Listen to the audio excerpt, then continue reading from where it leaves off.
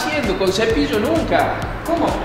¿Pero lavar el auto? No, no, no, vení, yo te cuento bien cómo lavarlo. Siempre lo hiciste mal, con dedicación o a veces con menos tiempo.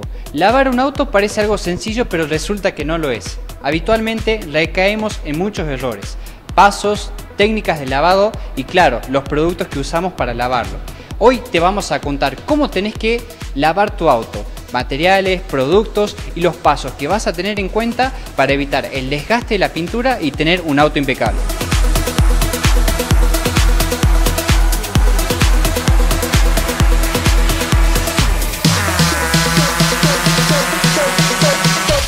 Bueno, Fernando, muchas gracias por recibirnos en, en tu lavadero. No, gracias a ustedes. Hoy te vamos, eh, hoy queremos que nos expliques cómo tenemos que lavar el auto. Viste que hay mucho se habla de técnicas.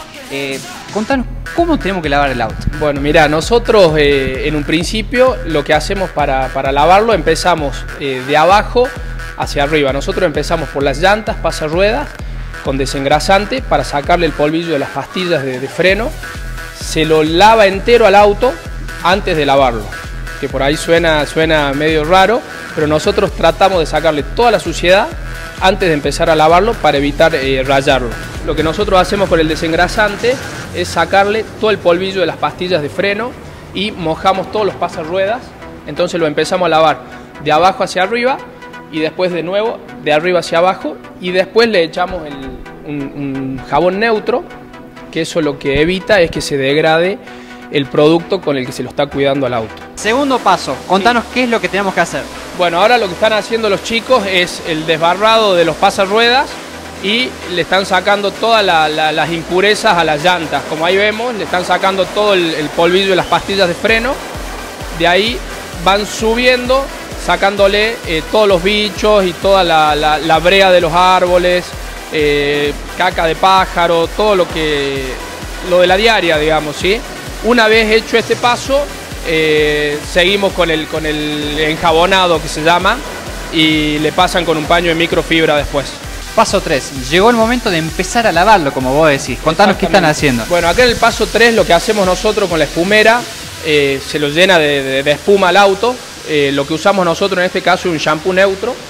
Por ahí, bueno, para que la gente sepa, en el caso de no tener un shampoo para autos neutro, lo que puede hacer es eh, comprar un shampoo para bebé, el, conocido No Más Lágrimas.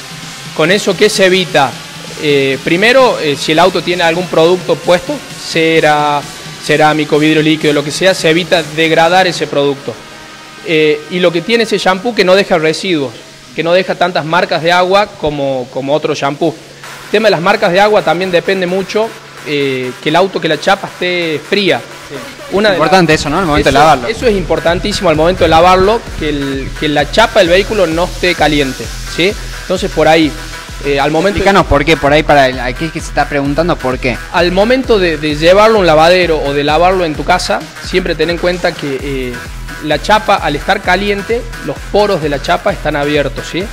Entonces por ahí, eh, al momento de lavarlo, cuando vos le echas agua o shampoo, se cierran los poros de golpe y queda la marca esa de agua o, el lamparón ese feo que por ahí uno dice, "Eh, ¿por qué quedó eso y no lo puedo sacar? Es justamente porque está la, chapa caliente. Después un buen enjuague es fundamental. Hay muchas formas de enjuagarlo al auto, eh, no es simplemente con la hidro, le, le- pegás y listo.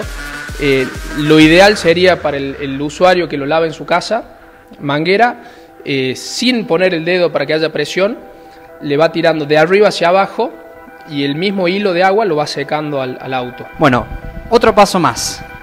Microfibra para dispersar el, el shampoo. Exactamente, lo que está terminantemente prohibido es cepillo y rejilla. Cepillo y rejilla nunca para y esponja tampoco. Eh, lo ideal es eh, algún algún guante de microfibra, ¿sí? Eh, yo recomiendo siempre eh, lavarlo en, no en forma circular, sino que hacer movimientos rectos. Siempre tengan en cuenta que las marcas que más se notan sobre la chapa son las circulares, son lo- los, conocidos Swirs o, o telaraña. Entonces lo ideal es eh, lavar y secar siempre en forma recta. ¿sí?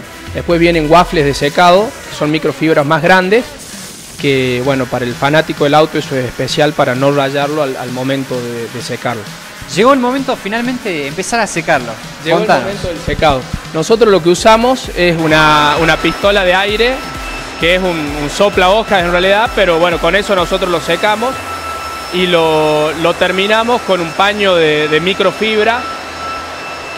lo que hace la microfibra es evitar rayarlo al, vehículo, ya que tiene es distinto a la rejilla, ¿sí? Eh, es muy suave, es como una, es una toalla, es, una, es como si fuera una toalla. Una vez hecho el, proceso de secado con aire, se le echa un detallador y se lo termina con la microfibra. La idea de la microfibra no es eh, tirarla sobre el capó, hecho un bollo y secar. No, tiene su, técnica. Lo ideal es doblarlo en cuatro. ¿sí? Esto es para la gente que lo hace en su casa, para que no lo haga de cualquier forma. La microfibra van a quedar dos lados con costura y dos lados sin costura. ¿sí? Siempre al momento de, pasarla traten de usar los dos lados que no tiene la costura. ¿sí?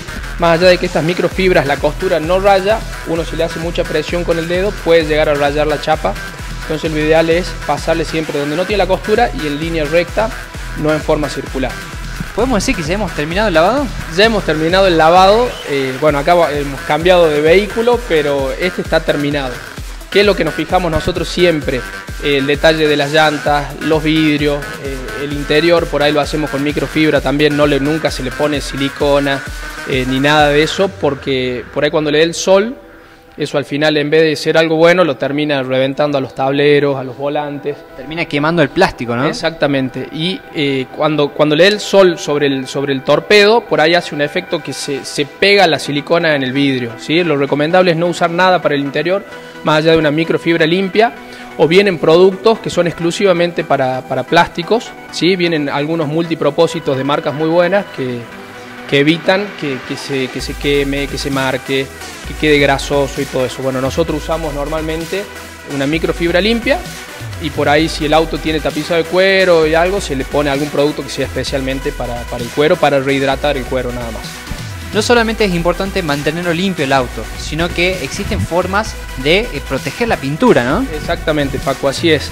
Eh, por ahí lo que, lo que se usa mucho ahora es eh, el tema de, vienen eh, acrílicos, cerámicos, lo mejor que viene actualmente para proteger la pintura es vidrio líquido, son productos importados que le da, más allá de la terminación y el brillo que le da la pintura, esto lo que sirve, crea una capa protectora por cierto tiempo que evita que, que los bichos se peguen, que la caca de pájaro te arruine la pintura, es más fácil de lavar, eh, este auto, acá lo que tiene es un vidrio líquido hecho con un producto que se llama Modesta, el sellador más duro del mercado que dura tres años sobre la chapa, eh, que es lo recomendable, digamos, para, mantenerlo. ¿sí?